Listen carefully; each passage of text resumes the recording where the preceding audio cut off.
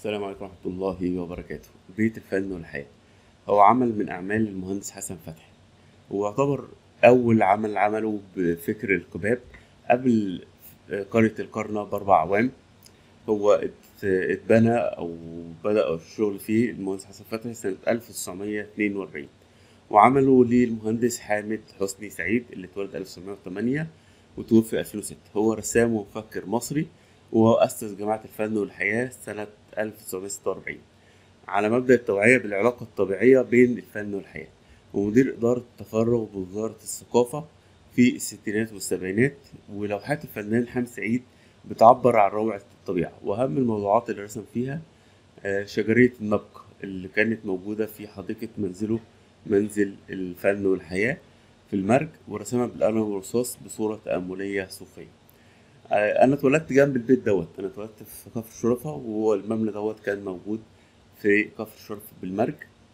وحامد سعيد عاش فيه من سنة 1942 حتى وفاته في 19 مارس 2006 آه، وأنا شفت البيت ده وهو بيتهد سنة 2011 بعد الثورة فترة بسيطة بدأت آه، فوضى العمارة. ف توفت الفنانة إحسان هانم زوجة الفنان حامد سعيد. فتاني يوم على طول هدوا البيت دوت وأنا يعني شفته بيتهد.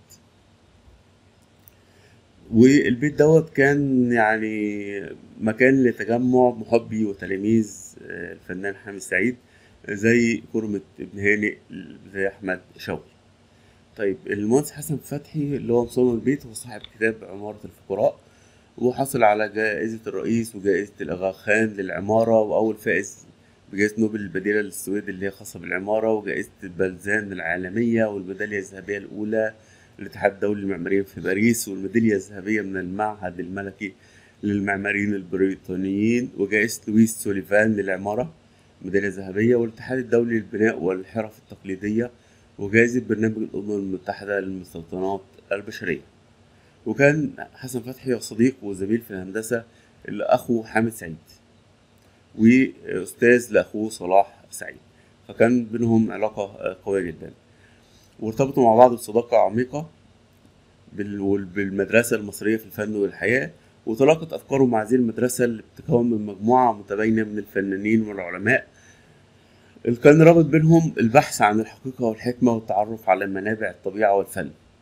عشان كده آه، قام المهندس حسن فتحي بتشييد بيت حامد سعيد في ضاحية المرج ويعتبر من أعماله الأولى اللي كانت بالطين الأرض كانت ملكا لعائلة حامد سعيد وكان هو بدأ حامد سعيد عايز يعيش فيها بس كان عمل خيمة كده فحسن فتحي عمل له بيت بالفكر بتاعه.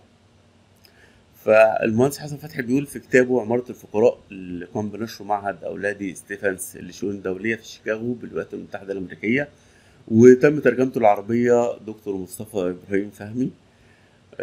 بيقول فيه المهندس حسن فتحي وكان لي صديق آخر يعيش في المرج خارج القاهرة مباشرة وهو حامد سعيد وكان فنانا يعيش مع زوجته في خيمة وسبب وسبب ذلك في جزء منه أن يكون قريبا من الطبيعة التي كان يعشقها عشقا جما وفي جزء آخر لأنه لا يستطيع تحمل ثمن منزل وعندما سمع عن مزرعة الجمعية الملكية للزراعة في بهتيم اللي كان عملها المهندس حسن فتحي وكان فيها مشاكل إدارية وضغط ومشاكل وكده وكيف كانت تكلفة بنائها رخيصة فإنه تم بالأمر أشد الاهتمام ذلك أنه ظل لزمن يحتاج إلى مرسى وذهب ليلقي نظرة على المباني وعندما رأى النوعية الفريدة لل... للنور في مقصورة ذات سقف مقبي قرر في الحال أن يبني لنفسه مقصورة مماثلة.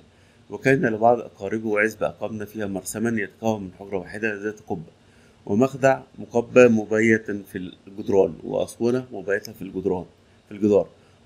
ومقصورة مفتوحة عند طرفها تطل على الحقول وعلى منظر يطرد بلا انقطاع لفدان أثر فدان من أشجار النخيل. وقد صنع له الطوب في نفس الموقع وكانت التربة رملية فلم يحتاج حتى لقش. وبنى البناؤون البيت مقابل 25 جنيه فحسب والتقطنا بعض الشبابيك الخشبية القديمة الجميلة جدا لتستخدم للنوافذ وبعض الأبواب المهملة لتستخدم للأسوانة وكلها كانت قد أهمل شأنها زمنا طويلا.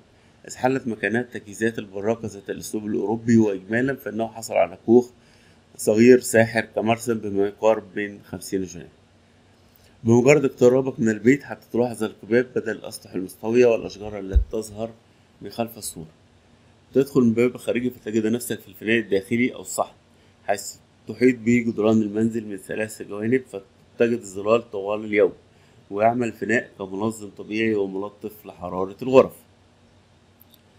المعماري حسن فتحي بيصف الفناء الداخلي بيقول يمكن لنظام التبريد الساكن نسبيا والمستعمل في البيت ذات الفناء الداخلي أن يوفر أساسا لفهم التعديلات التي يمكن إدخالها على التصميم لتوليد حركة في الهواء بفعل الحمل الحراري وذلك في استخدام مفهوم الفناء من أجل توفير الراحة المثلى المتعلقة بالمحيط الحراري.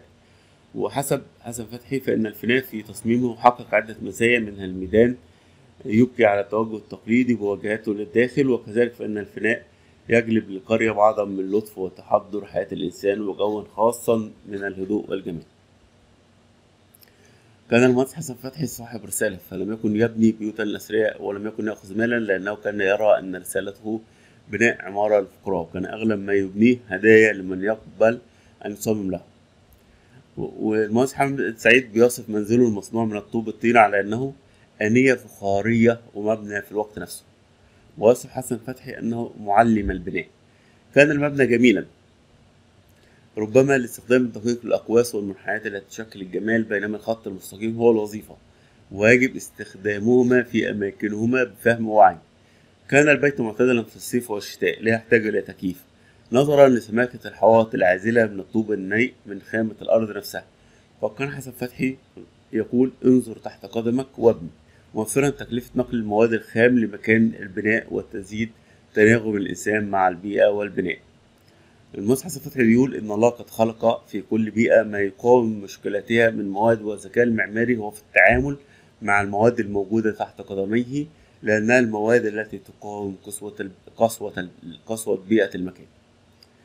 عرض الصالة كان بيتسع ويضيق حسب وضع الأعمدة الإنشائية المستخدمة لدعم السقف ذات الفتحات عليها وتم وضع شبابيك في المسافات الضيقة بين الأعمدة لتسمح برؤية الفناء من خلالهما. وكان حسن فتحي مهندسا نادرا يستمع بانصات لمطالب صاحب البيت وينفذ طلباته حتى لو كان عاملا بسيطا كما حدث في القرن.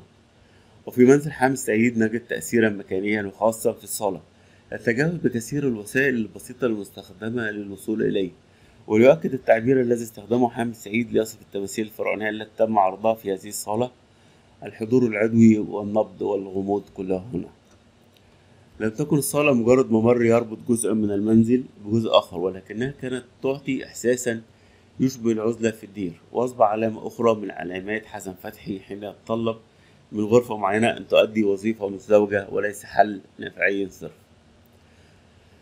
المنزل ده اتبنى على مرحلتين. سنة 1941 تم بناء الوحدة الداخلية الرئيسية والتي تتكون من الغرفة المركزية المغطاة بقبة والمتصلة بإيوان مقوس والذي يشير إلى القاعة أي الغرفة الرئيسية النمطية للمنازل التاريخية للقاهرة.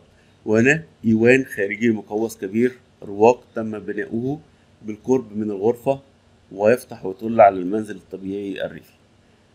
في المرحلة الثانية سنة 1945 قام بتصميم غرف إضافية حول الفناء المزروع بالأشجار عند غرفتين رئيستين على كل جانب.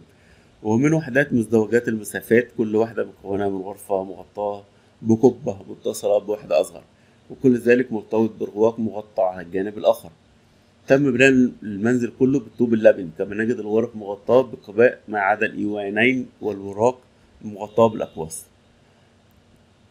وفرشة الفنان حامد سعيد بآيات النجارة الإسلامية الرصينة من الحشوات الخشبية والأطباق النمجية النجمية المجمعة. يبدو المنزل في شكل شكله النهائي غير مرفق ويصعب التصديق أنه تم بناؤه على مرحلتين منفصلتين. وبمجرد اكتمال المنزل أصبح مكانا للقاء جماعة أطلقت على نفسها أصدقاء الفن والحياة.